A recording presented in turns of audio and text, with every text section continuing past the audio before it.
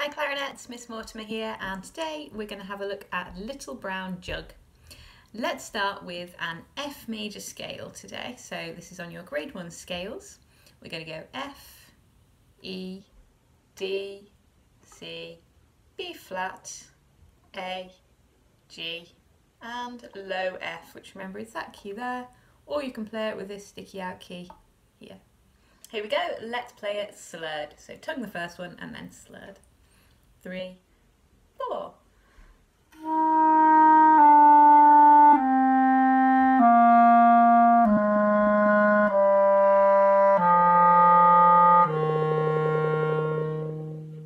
Back up, three, four.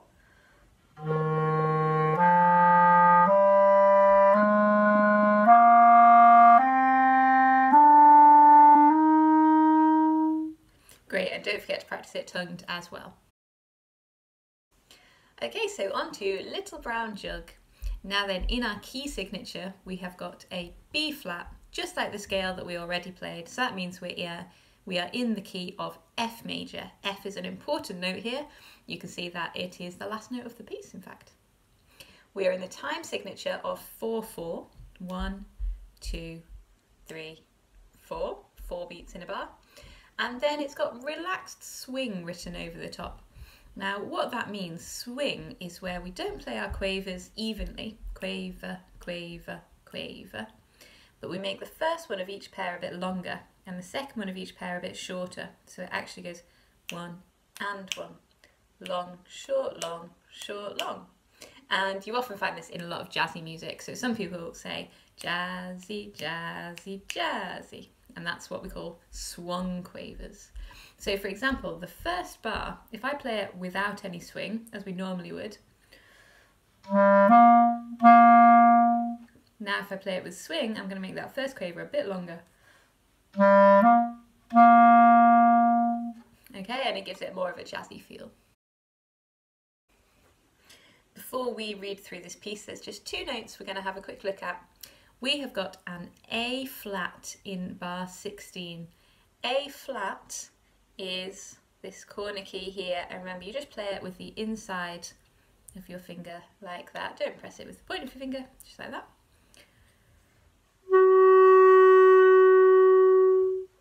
And then the other one we're going to need is an F sharp. I think you probably remember that one. It's your front finger. There's your normal F, there's your F sharp.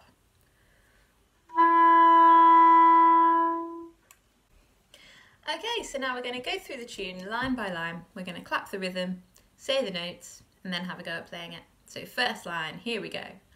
One, two, and three, and four.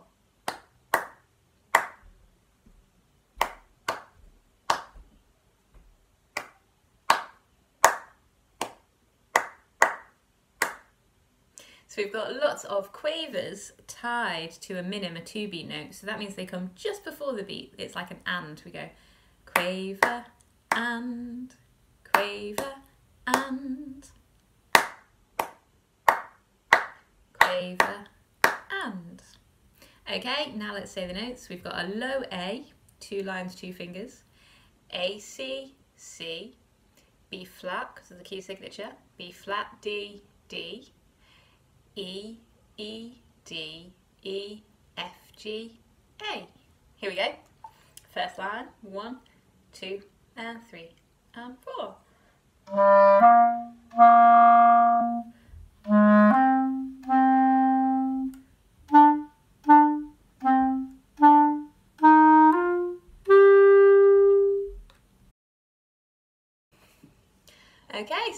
Line, let's clap the rhythm. Starts out the same as the first line. One, two, three, four.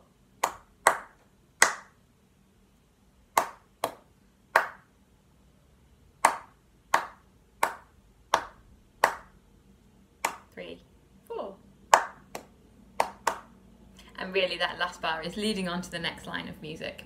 Okay, again, some of the same notes we've already seen. We go A, C, C, B flat, D, D, E, E, D, E, F, F, and then A, C, A, C. Okay, let's play the second line now. One, two, three, four.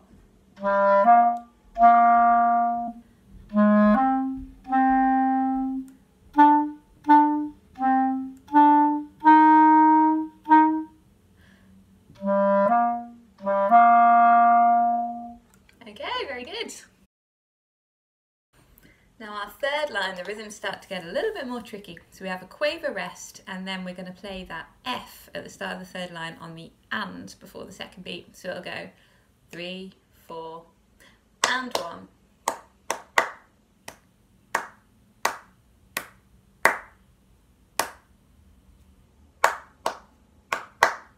And the last bar of the third line is the same as the last bar of the second line in terms of its rhythm.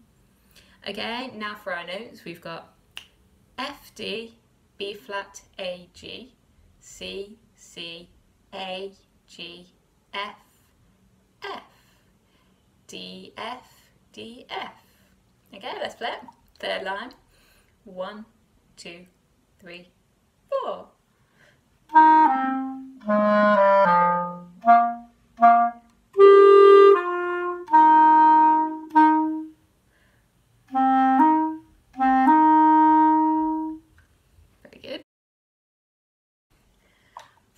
Line now, let's clap the rhythm. One and two and three and four.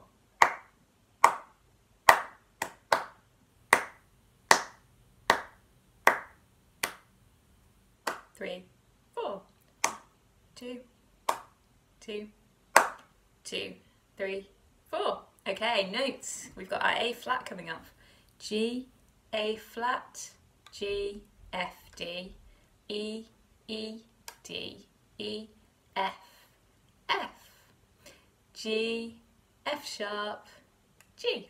Let's play it. One, two, three,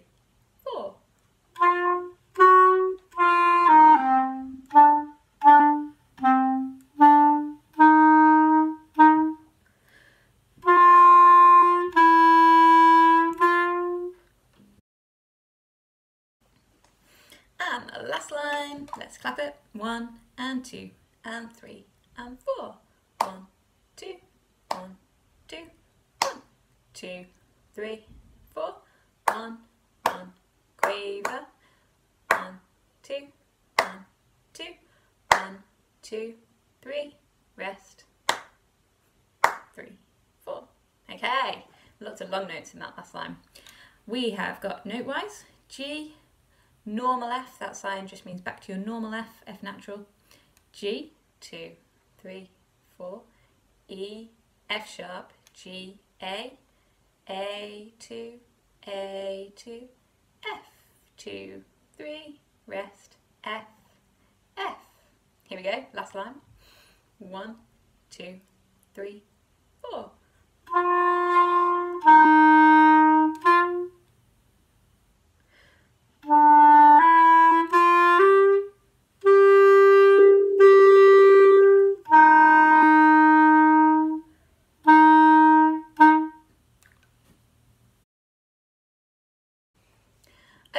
when you've got your notes and rhythm sorted, it's time to look at the articulation. We've got lots of slurs, for example, the first two notes. So remember you tongue the first one and then slur to the next one that's joined up by the line. Then we've got some staccato dots, like the little full stops underneath the notes in the third bar that we play in. And remember that's when your tongue goes straight back on the reed after you lift it off. As light and as short as you can.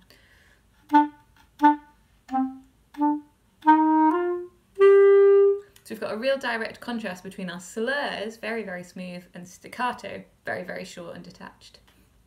We've also got some accents. We don't see accents a lot, but they are on the second line every time we get this pattern.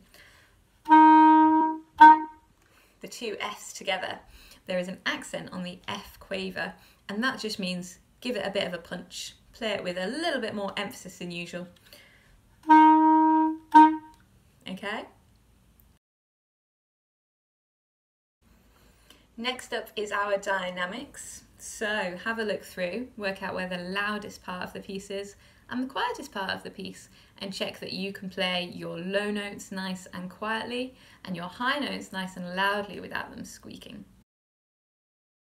Okay, and when we've done all of that, it's time to perform the piece. So with a relaxed swing feel, nice cheerful jazzy style. Here we go. One and two and three and four.